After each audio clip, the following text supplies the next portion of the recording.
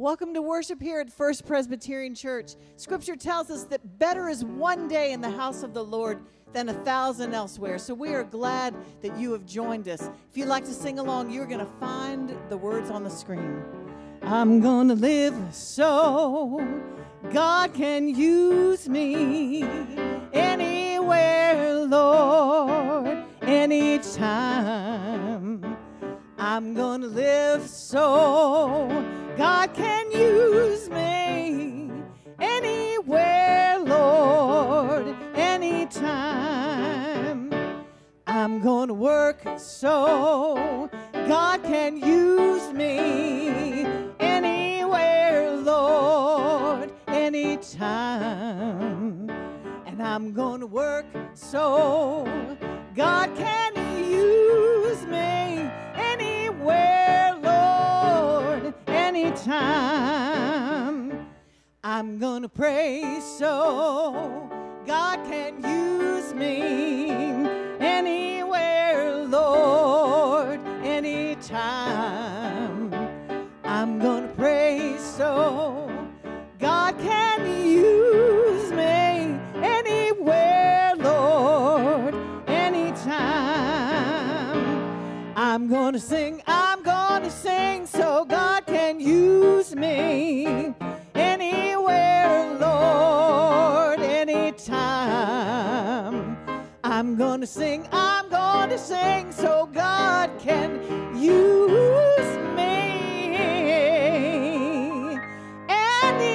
anywhere, Lord, any, oh, just about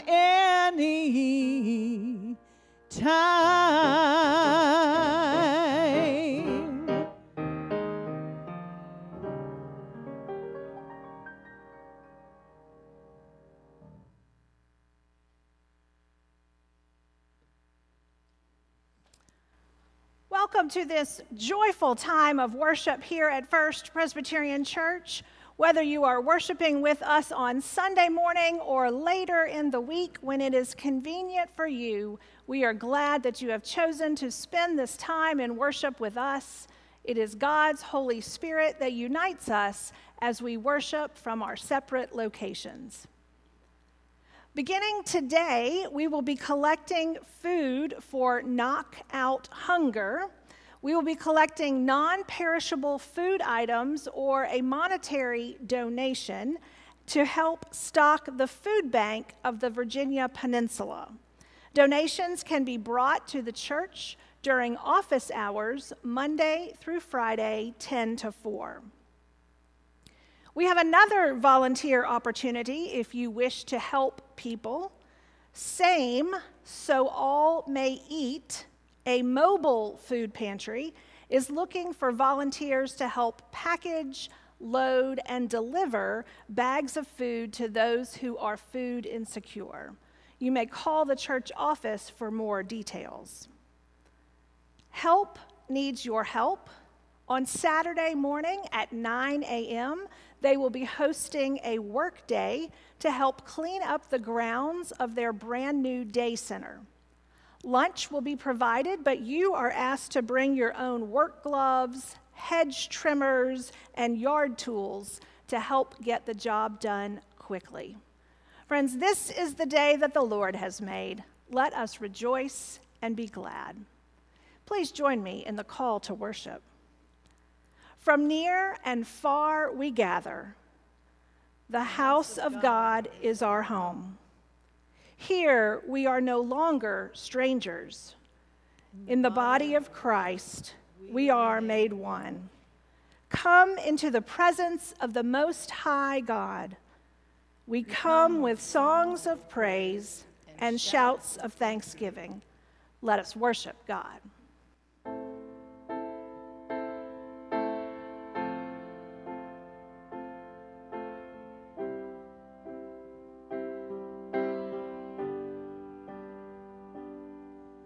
What lies ahead may be unknown as I brave the unseen road. God, go with me. Every hidden sacrifice through the watches of the night.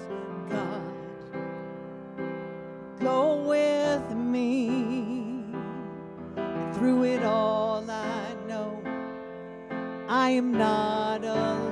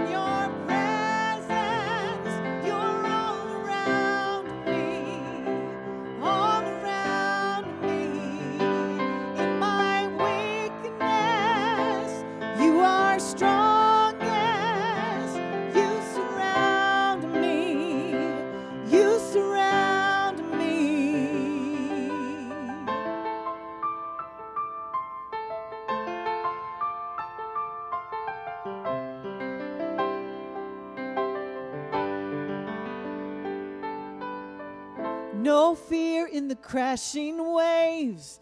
No fear when the cost is great.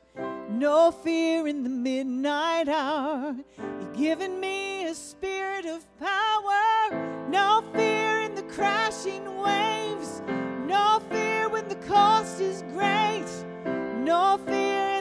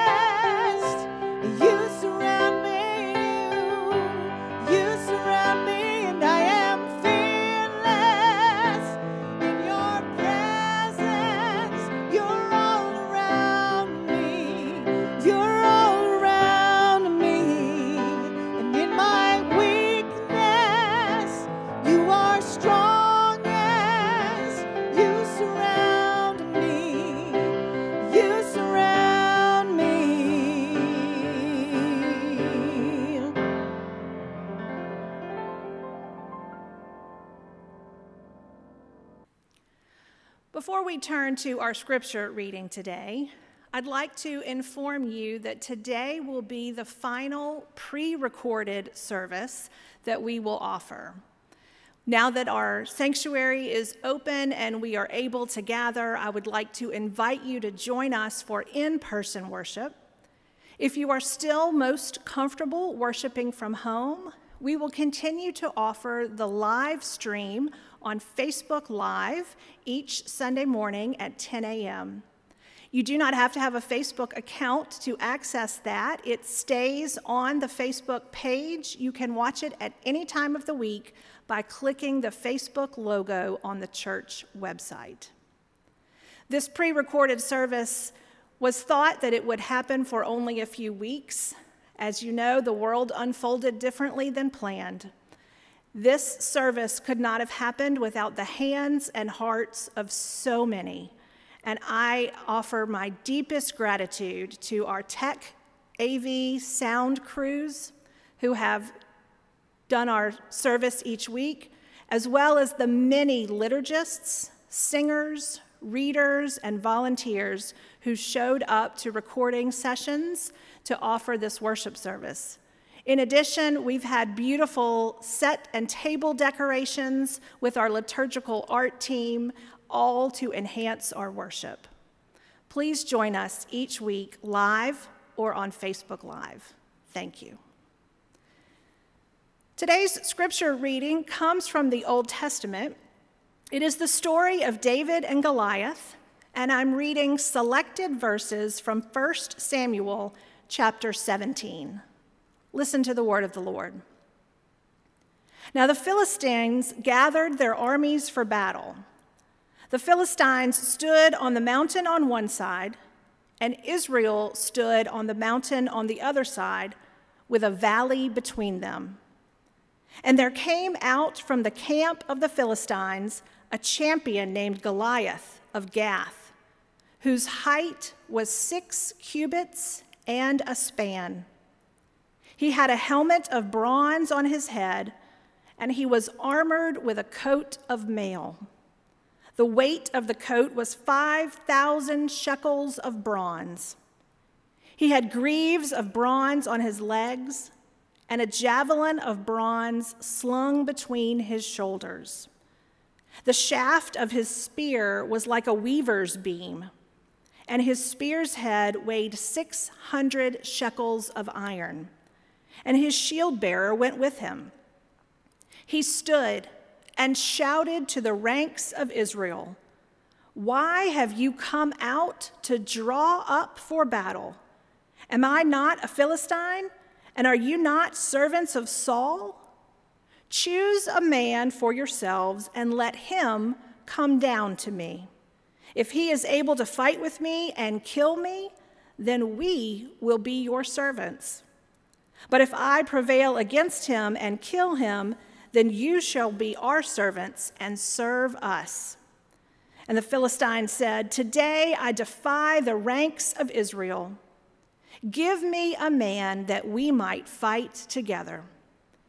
When Saul and all Israel heard these words of the Philistine, they were dismayed and greatly afraid. Now Saul and they and all the men of Israel were in the valley of Elah fighting with the Philistines.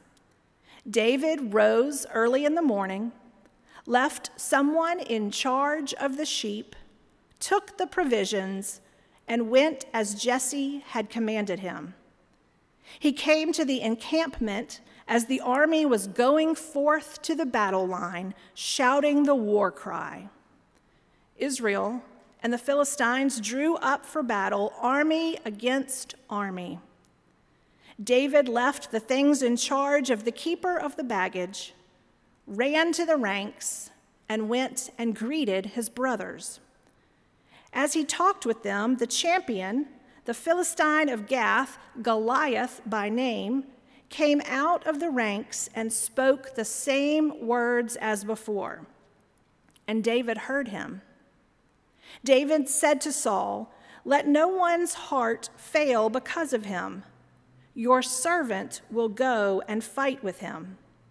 Saul said to David, you are not able to go against this Philistine to fight with him, for you are just a boy, and he has been a warrior from his youth. But David said to Saul, Your servant used to keep sheep for his father. And whenever a lion or a bear came and took a lamb from the flock, I went after it and struck it down, rescuing the lamb from its mouth and if it turned against me, I would catch it by the jaw, strike it down, and kill it. Your servant has killed both lions and bears, and this uncircumcised Philistine shall be like one of them, since he has defied the armies of the living God. David said, The Lord who saved me from the paw of the lion and from the paw of the bear will save me from the hand of Goliath. So Saul said to David, Go, and may the Lord go with you. Saul clothed David with his armor. He put a bronze helmet on his head and clothed him with a coat of mail. David strapped Saul's sword over the armor, and he tried in vain to walk, for he was not used to them. Then David said to Saul, I cannot walk with these. So David removed them. Then he took his staff in his hand and chose five smooth stones from the wadi and put them in his shepherd's bag in the pouch. His sling was in his hand, and he drew near to Goliath. Goliath came on and drew near to David with his shield bearer in front of him. When Goliath looked and saw David, he disdained him, for he was only a youth, ruddy and handsome in appearance. The Philistine said to David, Am I a dog that you come at me with sticks? And Goliath cursed David and his gods. The Philistine said to David, Come to me, and I will give your flesh to the birds of the air and to the wild animals of the field. But David said, You come to me with sword and spear and javelin. But I come to you in the name of the Lord of hosts, the God of the armies of Israel, whom you have defied. This very day, the Lord will deliver you into my hand, and I will strike you down and cut off your head. And I will give the dead bodies of the Philistine army this very day to the birds of the air and to the wild animals of the earth, so that all the earth may know that there is a God in Israel, and that all this assembly may know that the Lord does not save by sword and spear. For the battle is the Lord's, and he will give you into our hand. When Goliath drew nearer to meet David, David ran and quickly towards the battle line went to meet the Philistine. David put his hand in the bag, took out a stone, slung it, and struck Goliath on his forehead. The stone sank into his forehead, and he fell face down on the ground. So David prevailed over the Philistine with a sling and a stone, striking down Goliath and killing him. This is the word of the Lord. Thanks be to God. Today's story has to do with overcoming great obstacles. The story of David and Goliath is probably familiar to some of you. The armies of Israel and Philistine were ready to do battle. The Philistines sent out Goliath, a giant of a man, to fight while Israel sent out David, a small shepherd boy. The battle seemed over before it even began. Can't you just picture it? Goliath was brash and loud. Nobody argued with him. Why would they? He was bigger and meaner and nastier than anyone around. His appearance made people tremble with fright. He was over nine feet tall, wore a bronze helmet and a coat of armor weighing approximately 125 pounds. On his timber like legs, he wore coatings of armor as well. He carried a bronze javelin slung over his back, whose iron point alone weighed 15 pounds. They called him a champion. His name, Goliath, brought goosebumps to the Israelite army. Every day for weeks, Goliath taunted Saul's army. Each morning, the Israelites would line up in military formation until they heard the thundering voice of Goliath taunting them. At the sound of his words, they fled to the safety of their tents. Then one day, a young boy in his teens happened to be visiting his older brothers who were soldiers in the army. And the next thing we know, that young boy, David, is volunteering to head off into battle to fight this giant. He is confident that the God who has saved him from bears and lions will protect him once again. He's not confident in his own abilities, but confident in God's ability to use him to achieve desired results. He puts on the traditional arm, armor for battle, but it is simply too big and heavy. Its bulky nature prevents him from even being able to walk. The tools of war are too large and too heavy for this young shepherd. That was not his style, that was not the equipment he was used to. So he picks up his stones and heads toward the battlefield. Taking only his slingshot, he approaches the giant, and the unthinkable happens. In spite of the differences in size, in spite of the fact that his equipment seemed so inadequate, in spite of all the obstacles he faced, David came out of the battle victorious. He overcame all the obstacles in his path.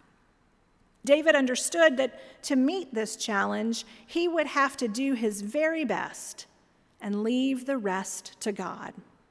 He allowed God to use him even when it seemed he was not at all equipped for the job. He simply trusted in the Lord. He trusted God to equip him in such a way that the obstacles would be overcome. It's almost as if David knew it was time for a new way of thinking. It was time for someone to go against the rules, to prove the establishment wrong.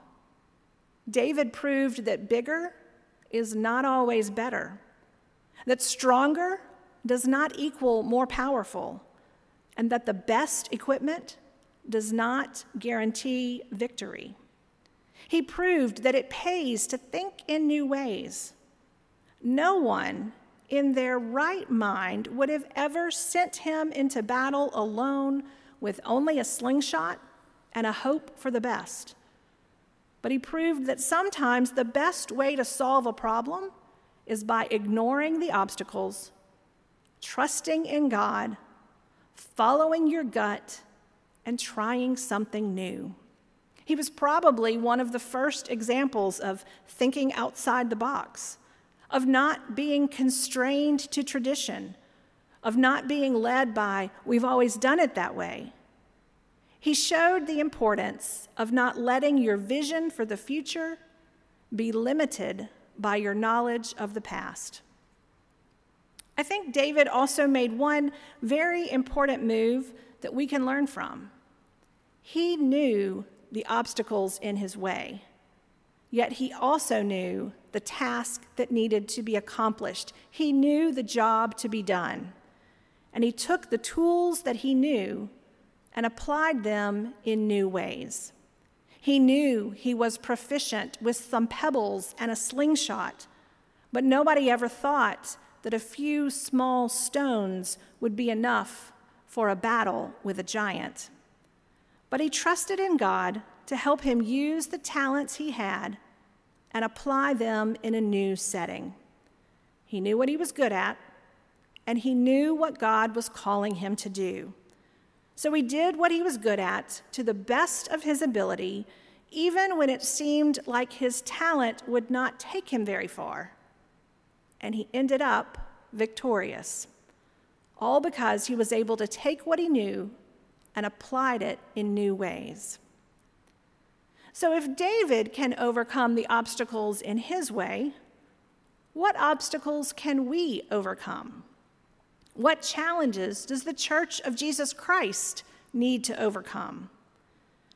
This seems like a constant topic of conversation in my circles. I hang out with a lot of pastors from churches large and small, in cities and towns from all over, and the constant question is what can we done what can be done to set up the church for success in the future? What leadership skills do we need in our bag of tricks? How do we do ministry in the culture of the 21st century, which changes quicker than we can grasp? How do we communicate what the church does and how faith can impact the life of an individual or a family when people don't even know what we're talking about? What have we learned from this past strange year about what is really important and about what we value? How adaptable have we shown ourselves to be? These and so many other questions are at the heart of so many discussions with colleagues and peers. The headlines and statistics recently have not read in our favor. Mainline Christianity is no longer the normal, no longer the majority. Many people identify as spiritual, but not religious. Church membership trends are on the decline. There are so many demands on people's time that they simply don't make the time to invest in a church home, in a community of faith, in a loving congregation. In fact, research shows that the religious demographic that is growing the fastest in America is the nones, as in, are you Episcopalian, Methodist, Catholic, or none of the above? Are you Jewish, Protestant, Buddhist, or none of the above? The nones, N O N E S, are the fastest growing sector of our population. That presents a major challenge. That reality might seem like a mighty obstacle. It can make us tremble in fear and hide in our tents, not knowing what to do. Or we can take a cue from David, his pebbles, his slingshot, and most importantly, his belief that God would lead him to creative approaches and new solutions. I hope we are inspired by stories of faithful people of the past overcoming great obstacles. I will not deny that we face obstacles every day. And looking at them may lead to many, many questions and doubts. But I hope we take a cue from young David by not letting the obstacles slow our desire to think in new ways and try new things. What are the obstacles? First, identify them. This congregation has so many gifts and talents and so much potential to serve the people of God with energy, intelligence, imagination, and love that I know you can overcome obstacles. How can you learn from David's actions and apply what you do well to new circumstances and new ways of thinking? David showed that sometimes great obstacles stand in our way, but he also proved that with trust in God, any obstacles, even the biggest ones, can be overcome in ways we never imagined. Amen. I invite you to join me as we go to God for a moment of prayer, praying not only for ourselves, but for the needs of the world around us. Let us pray. Holy and merciful God, as we come here today to bring you honor and glory and praise, we pause to join our hearts together in prayer and bring our concerns to you. You know the worries that are silent on our hearts, the friends, family, and neighbors that we lift before you today. We bring you our concerns for ourselves and for the world around us, knowing that in you we find ultimate hope, healing, and peace for all that troubles us. We pray today for our loved ones, for those near and far for those we love and hold dear, we ask your presence. Be with those we know who are digesting the news of a troubling diagnosis, waiting on tests and their results.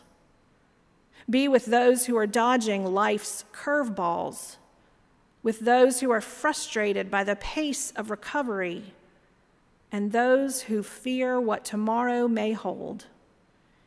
Hear the prayers and tears of all who suffer.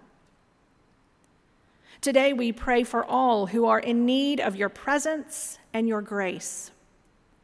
Use us as your church to bring calm where there is anxiety, comfort to places of pain, unity to places of division, and grace where it is needed most.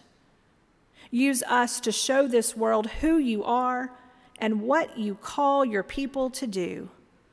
Make us instruments of your love and grace. We pray also today for your church. There is much work for us to do, many people for us to reach, individuals who long for your love and grace. Allow new ideas to be born and take root. Empower us to continue our many ministries with energy and enthusiasm, with courage and conviction, allowing all whom we meet to know you through our efforts.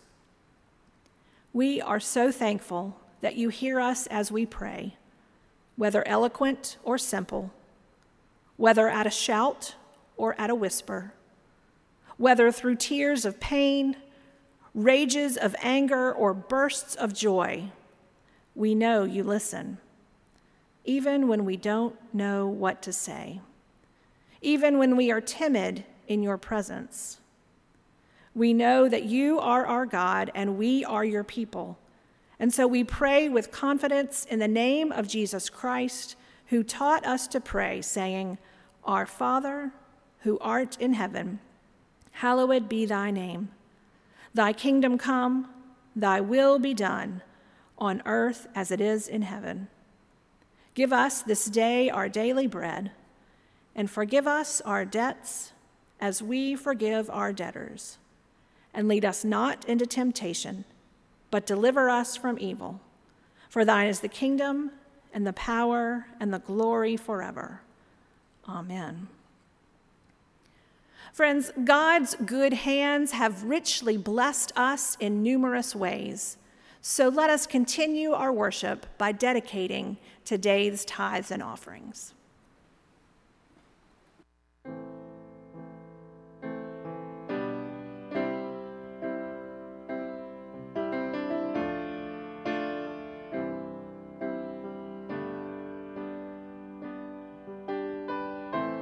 All throughout my history. Your faithfulness has walked beside me. The winter storms made way for spring. In every season, from where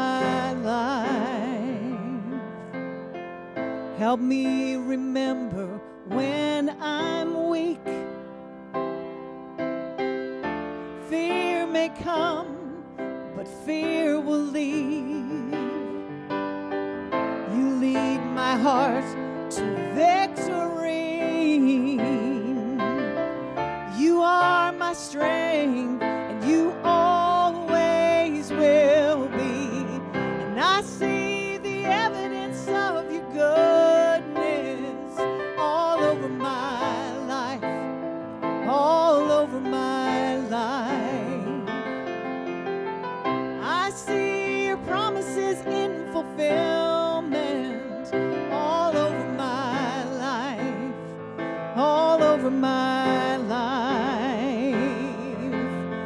I see the cross, the empty grave, the evidence is endless. All my sins rolled away because of you, oh Jesus. See the cross, the empty grave, the evidence is endless all my sins rolled away because of you, oh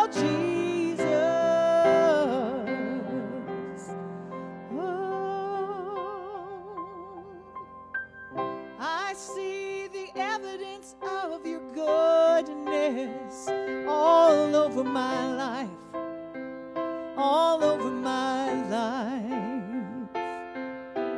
And I see your promises in fulfillment all over my life, my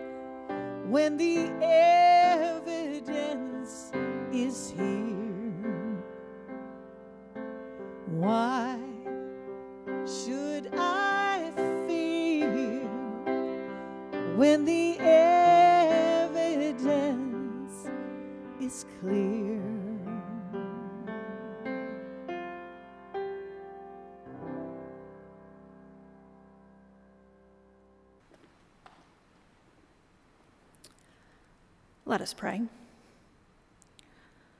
Holy God, by the giving of today's tithes and offerings, may we remember your generosity toward us and be inspired to give back to you. May those in need be blessed by these gifts as we strive to use them to share your grace in all we do. Amen.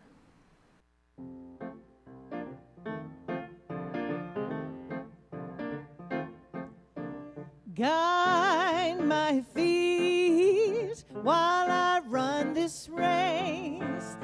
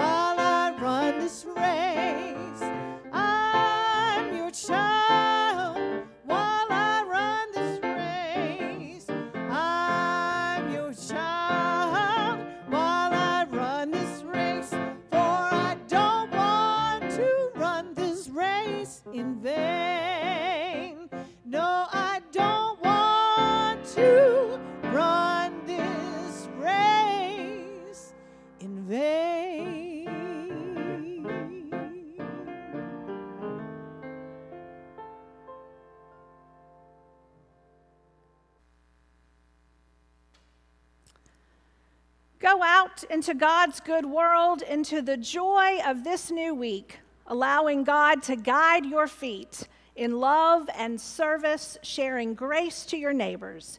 And may the love of our Savior Jesus Christ be with us all, now and forever. Amen.